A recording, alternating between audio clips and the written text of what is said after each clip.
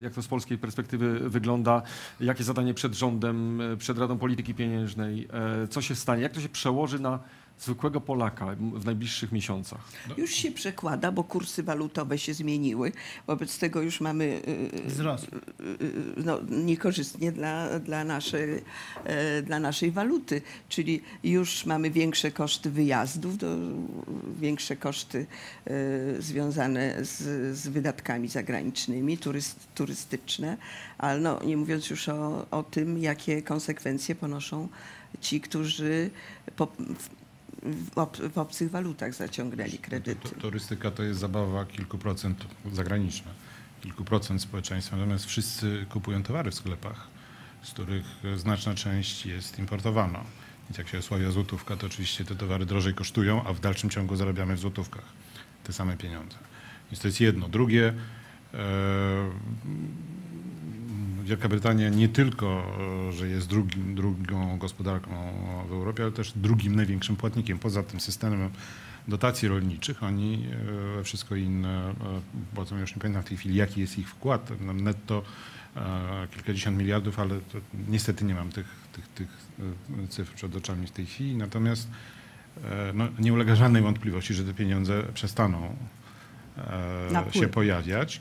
E, Być może nie tak ciach, ale jako, jakoś powoli nie wiadomo, jak, jaka będzie procedura rozwodu, więc nie wiadomo, e, co się z tymi pieniędzmi stanie, ale niewątpliwie oznacza to, że Polska nie dostanie tych wszystkich pieniędzy, na które liczyliśmy e, w związku z, z bieżącą tak zwaną perspektywą, więc e,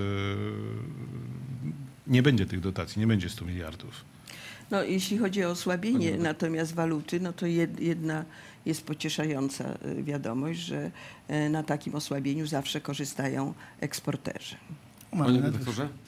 No Ja powiem tylko tyle. Dla mnie to jest, e, w ogóle pokazało też jakby naszą pozycję. Wyjście Anglii pokazało naszą pozycję gospodarczą. W Wielkiej Brytanii. Nie, tu, na miejscu. To, Nie, nie, mówię, że wyjście Wielkiej Brytanii. Tak, Wielkie Brytanii pokazało po- ten, tu na miejscu co się okazało? Nagle się okazało, że w oczach zachodnich e, naszych partnerów, inwestorów jesteśmy krajem ryzyka. My, a nie Wielka Brytania. Złoty się osłabił najbardziej w tym w stosunku do tych głównych walut, tak? To znaczy, że No nie, mniej niż 10%. Funt najbardziej się osłabił. no ale w stosunku do tych walut pozostałych 6%. tak, no, czyli frank, no frank to jeszcze więcej, ale no, ten dolar powyżej 4 euro, 4,60 czy 50, y, to się wszystko nagle jednego dnia stało, ponieważ uznano, że nasza pozycja jako państwa jest gwałtownie, jako naszej gospodarki, osłabiona. I to jest istotne, mm, bo znaczy, że wszyscy, którzy tu lokowali pieniądze, nagle te pieniądze ich stracą wartość, więc będą je natychmiast wycofywali. I to pokazuje, że dla nas ten Brexit, y, który oczywiście dosięgnie nas i bezpośrednio i dotyka nas pośrednio, nasza pozycja, myślę, że pozycja wszystkich krajów naszej części regionu osłabi się. Ja myślę, że w ogóle Unia Europejska, nauczona o tym, co się stało, zmieni swoją politykę, bo do tej pory robiła wszystko, żeby Wielka Brytania została. Myślę, że nastąpi próba zdyscyplinowania y, towarzystwa, albo się roz- rozejdzie Unia Europejska.